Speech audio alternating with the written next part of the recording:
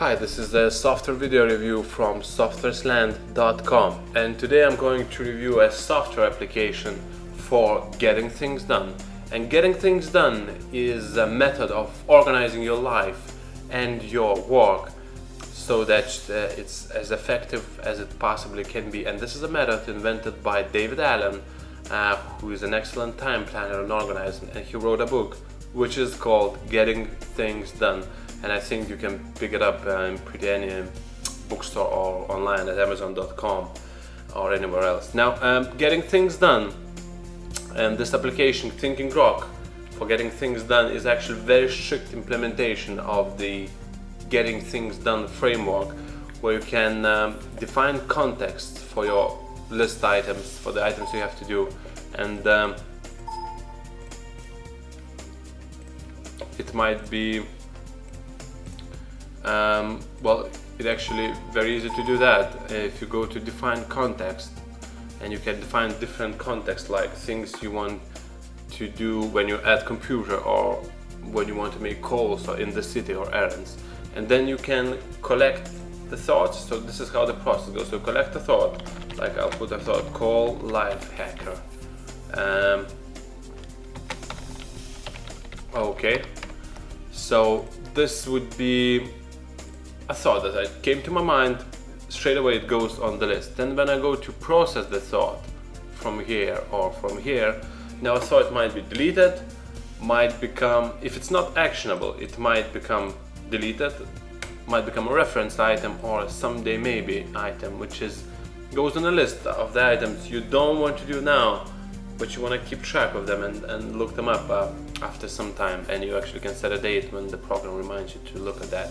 Now this item, call life hacker, is actually actionable. Successful outcome, pretty obvious.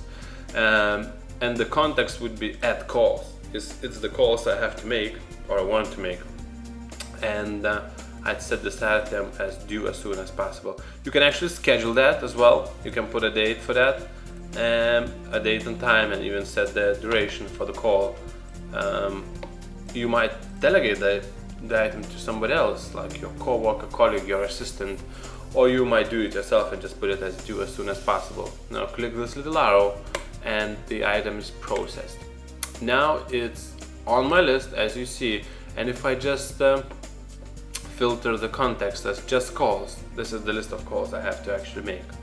And uh, well, it's as easy as that. Uh, then you can filter by context, by topic, by status, um, by done or not done, the items you have to do straight away, delegated, scheduled items, done items. Um, now it's um, it's pretty powerful and it has actually support for plugins and it actually allows you to export your list uh, to an iCal, your list of to-do and scheduled items to iCal format. So then you might import it to a different program. I have here, um, I have this program exporting my scheduled items to an iCal file. And then this program Rainlendar actually picks it up and I have a list of things to do uh, which I have scheduled as, as, you see here. Okay. Um, pretty powerful program. It actually comes free. And um, if you're into getting things done I seriously ask you to check it out. It's really cool software and um, thank you for watching has been a presentation from softwareslant.com. Thank you and good luck.